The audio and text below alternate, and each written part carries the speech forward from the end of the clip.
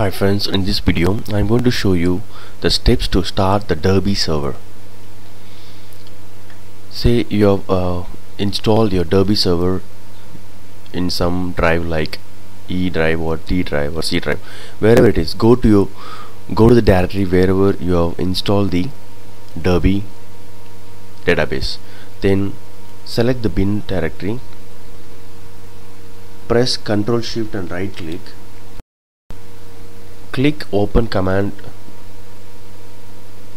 here okay? Then there is a file called start network server.bat file.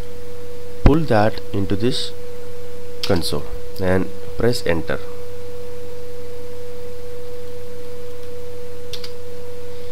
Then your derby server will start. From eclipse you can connect to this Derby server.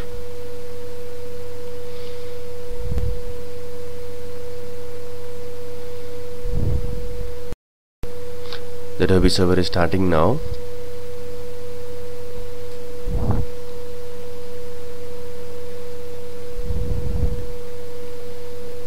Okay, so uh, it, Derby server is started and it is running on 1527 port. This is how you can start the Derby server in your database.